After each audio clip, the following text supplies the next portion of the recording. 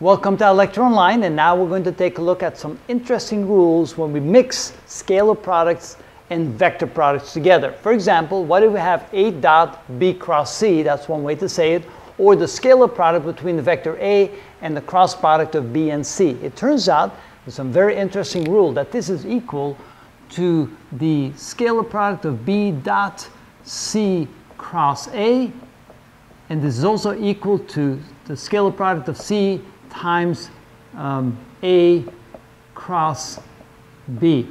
Think about it kind of like in a round robin way. If you take the A and put it in the back and take the B and put it out here, you get this. If you then take the C, put out here and roll the B over to the back side, you get this. So you can kind of round robin through that, and all those are equivalent to one another, which is very interesting and very handy in some cases.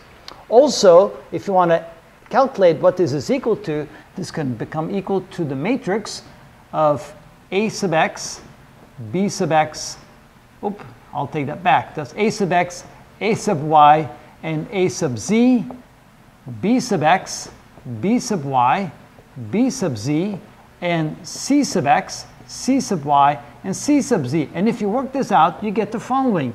You get A sub x times B sub y times C sub z, B sub y, times C sub z minus B sub z, C sub y, B sub z, C sub y. And they get minus A sub y times B sub x times C sub z, because then you multiply this times this, minus this times this. So minus B sub z, C sub x. And then plus, we get A sub z.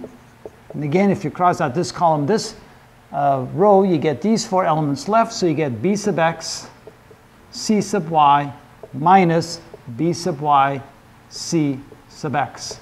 And that will be the result of doing a dot b cross c. And it doesn't matter what order these are in, you will always get the same results. It's really interesting. Those are some handy rules to know when you deal with vector products and when you deal with scalar products at the same time. And that's how it's done.